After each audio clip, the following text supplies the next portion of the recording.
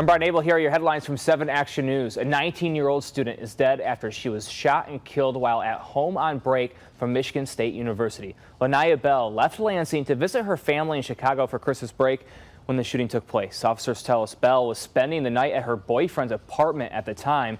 That's when a witness inside the home heard a gunshot and found the teen in an apartment bedroom. Police are calling this a homicide, a murder, because no weapon was found on the scene. Bell's boyfriend is in custody in connection to the shooting.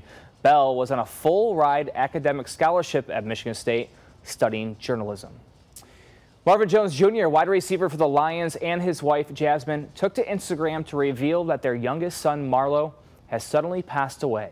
Jones posted a tribute to the six-month-old child on Instagram saying it's hard to believe his little angel has passed. The Detroit Lions also re releasing a statement saying in part Marvin and Jasmine embody the true meaning of family and that the example, example they set has made them an inspiration to so many in our community.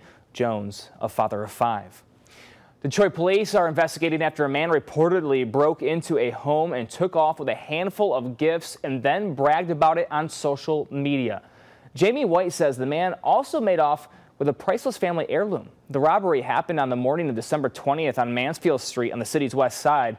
Security cameras show the man walking away with the gifts. White says all he wants back, though, is the necklace of his grandmother's that the suspect is seen wearing on his Instagram page. Detroit police still trying to find the suspect.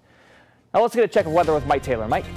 Heavy rain arrives tonight and it's going to stay with us going into your Sunday morning all the way through lunchtime and then it comes back for Sunday night going into Monday morning 55 on Sunday 51 on Monday but then we're down to 35 as we bring in the new year 2020 on a cooler note in fact 38 degrees the high temperature on Wednesday.